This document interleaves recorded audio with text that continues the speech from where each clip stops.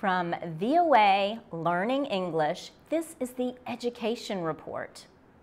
UNICEF, the United Nations Children's Fund, has reported some good news about education in two areas of Somalia. Puntland and Somaliland are now relatively peaceful and secure, at least compared to central and southern Somalia. A study found that in Puntland, the share of students in primary education increased from 26% to 43% over the last five years. A smaller increase was reported in Somaliland. In both cases, the gains in school attendance were greater among boys than among girls.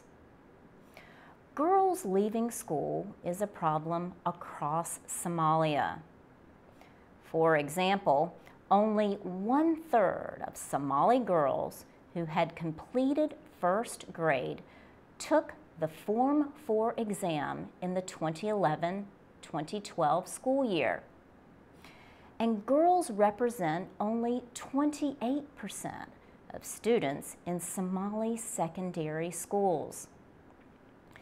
Communications chief for UNICEF in Somalia, Susannah Price, says more schools are being built. She says the agency is developing projects in several fields of education. She also says UNICEF has been working on training teachers and developing non-traditional forms of education. Some of these programs are for children of families that herd livestock and move from place to place. Susannah Price says education is very important to the future of Somalia. But there are problems in getting parents to send girls to school.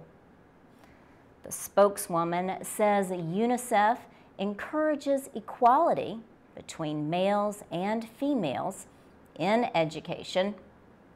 More universal education could help Puntland and Somaliland also improve other areas of development such as health care. For VOA Learning English, I'm Laurel Bowman.